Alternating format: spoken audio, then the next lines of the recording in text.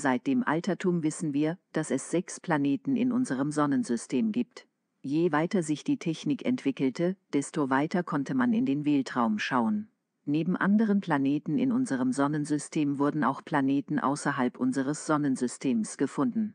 Heute erklären wir, wie man einen extrasolaren Planeten findet und warum die Technik noch in den Kinderschuhen steckt.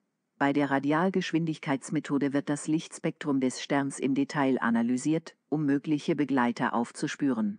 Dabei wird die Tatsache ausgenutzt, dass sich Planet und Stern gegenseitig anziehen.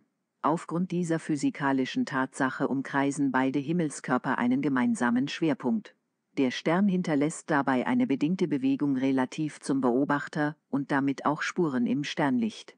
Kommt der Stern auf uns zu, wird sein Licht zu kleineren Wellenlängen verschoben, das Lichtspektrum wird bläulich, entfernt er sich von uns, wird das Licht länger wellig und damit rötlich, mit mehr als 850 bestätigten Entdeckungen ist die Radialgeschwindigkeitsmethode eine der erfolgreichsten Methoden bei der Suche nach Exoplaneten.